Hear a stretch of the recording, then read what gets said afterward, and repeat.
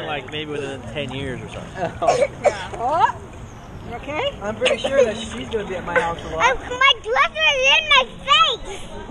Your dress? Mine too. Just take it off. I can already see her and Oh.